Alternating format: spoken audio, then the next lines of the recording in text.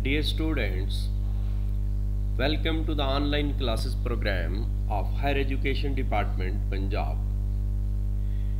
It is Department of English Language and Literature of Government Postgraduate College, Attock. Here, I am Sharif Zahid, Assistant Professor of English. Well, my dear students, we have covered two lessons. The first of this book was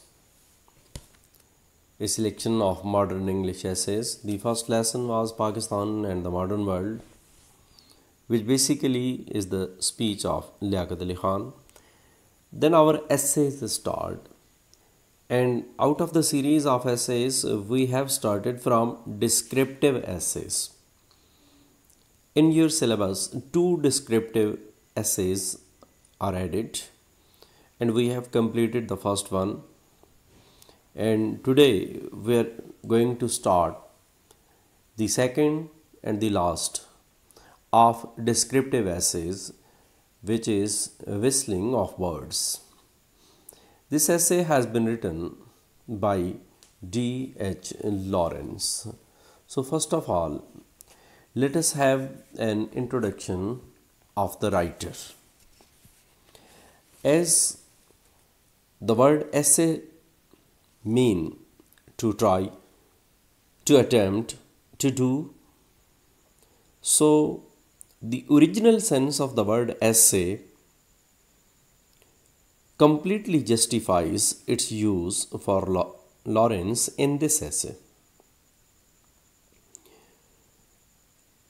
We will come across so many definitions of essay and all of them are covered up in this attempt of D. H. Lawrence when he writes about nature.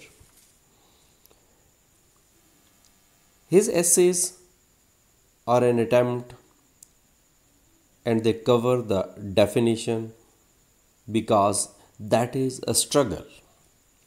Struggle to articulate complex attitudes to society and people's reflection and reaction towards literature, including their trend towards religion, their priorities about education, and the philosophy they obtain from all of these things. His style relies on underlining and insistence.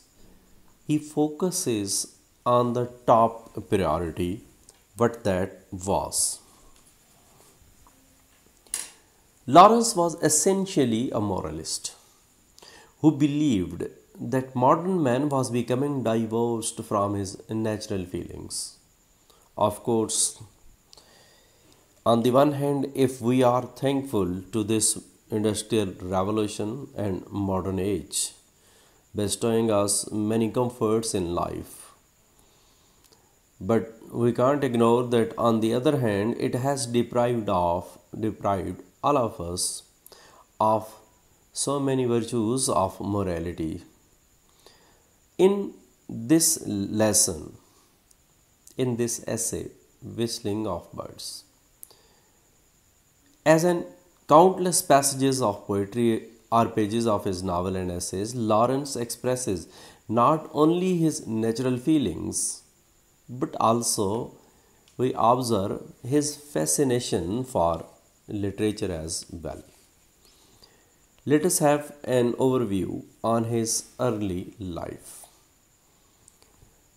David Herbert Lawrence, English novelist. He has been bestowed as an artist with so many qualities because he was not only an novelist, a poet, a painter, a critic, and of course an essayist, who was the son of a Nottinghamshire miner. His mother was an ex school teacher who encouraged Lawrence to become a teacher. His youth was troubled by an obsessive relationship with his mother, and by tuberculosis symptoms, which made him increasingly irritable. After graduating University College Nottingham, he worked as a school teacher in Croydon School until 1911. Thenceforth, he devoted himself to literature. As he was an artist, and no artist may easily remain away from his interest to life. And interest to life comes through interest with literature. Now, about his works. His literary, literary career began with the publication of The White Peacock, which was followed by the semi autobiographical Sons and Lovers, which became very much famous and has been included in the syllabus in so many universities. Meanwhile, Lawrence fell in love with Frieda, the German wife of an English scholar, whom he married in 1914. But 1914 in history is famous for the outbreak of First World War. Such a marriage in wartime added to his bitter class consciousness and heightened the persecution mania from which he had always suffered. For example, he who married, and that too after falling in love, but was suspected of being a German spy. Resultantly, he was expelled from Cornwall in 1917. This led to his restless travels abroad after the war. He lived in Italy, then some time he remained in Germany. Some of the period he passed in Ceylon, then went to Australia, then America and Mexico. Finally, he settled on the French Riviera and died at Venice near Nice place. Now, what is his work? Mostly, D.H. Lawrence is famous as a novelist, and it is his priority towards novel which bestowed him fame. His novels include The Rainbow, which was published in 1915. Then Women in Love was published in 1920. Then Sea and Sardinia 1921. Then Kangaroo 1923. Plumed Serpent 1926. Mornings in Mexico in 1927 it was published and Lady Chatterley's Lover 1928 which remained banned until 1960. Why Lawrence became so controversial that since the onset of his literary work, he has to face either bindings or ban. Lawrence is chiefly remembered for his unconventional attitude to sex and for his marital explanation of extramarital relations.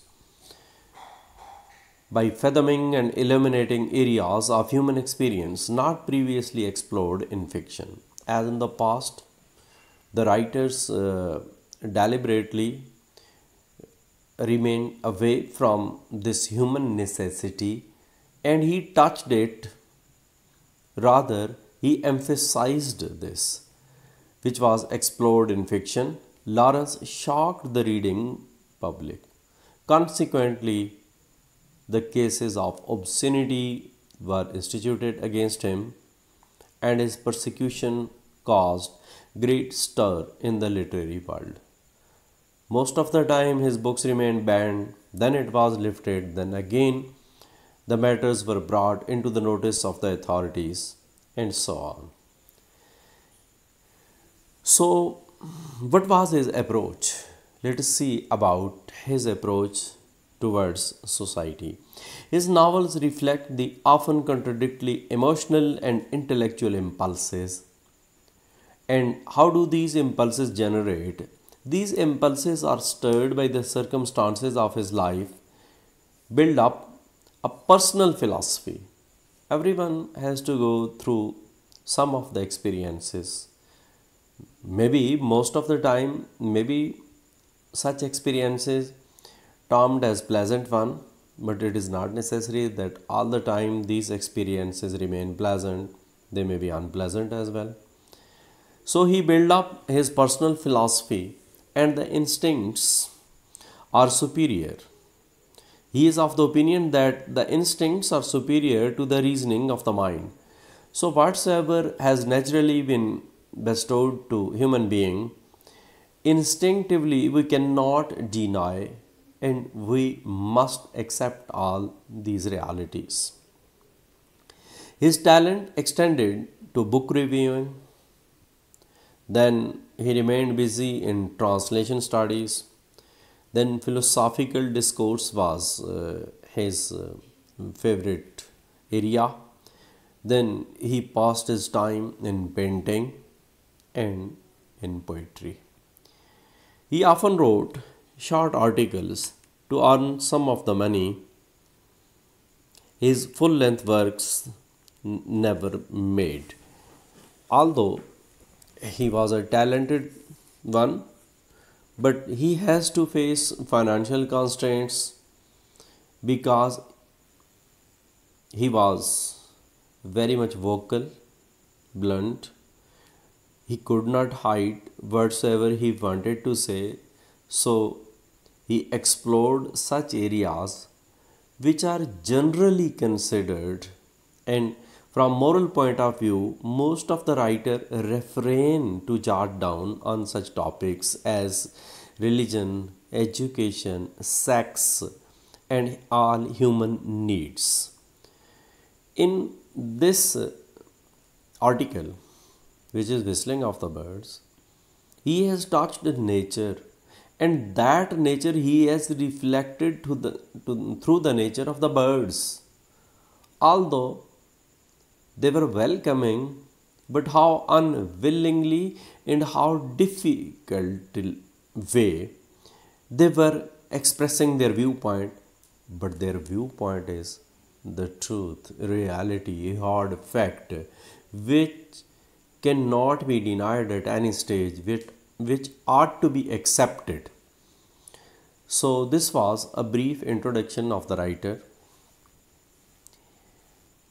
in this article, you will find the reflection of his life as well as uh, this article is about the love for nature.